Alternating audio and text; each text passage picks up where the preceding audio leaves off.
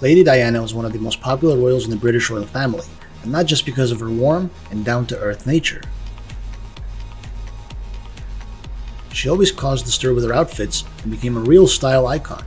Her bikini photos attracted the world's attention in 1993. The princess was photographed on the beach of the Caribbean island of Nevis in a skimpy two piece and chic orange. The then 32 year old cut a really good figure in her bathing suit. Royal fans loved these beach photos. In the bikini photos, Lady Diana came across as human and natural as seldom before.